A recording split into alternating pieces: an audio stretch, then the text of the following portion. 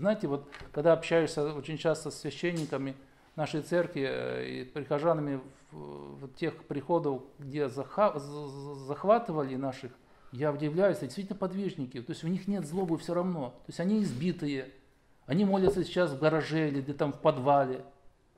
Но у них нет этого, этой злобы. Пять лет вот этой клеветы, ненависти, злобы против нашей церкви, и храмы переполнены, вот крестный ход, но мы должны защищаться. И первой защитой будет э, наша внутренняя стойкость. Вот если мы будем жить по-христиански, у нас будет сила не ворчать, не озлобляться.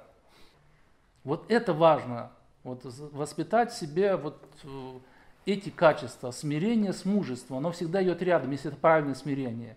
Это если это не смиренничание, если мы не притворяемся, вот, если мы не играем в, в, в религию, церк, церковность, если мы действительно проживаем свою жизнь, э, пытаемся, то есть прожить ее святые могут, а мы можем дерзновенно к этому каким-то образом э, продвигаться.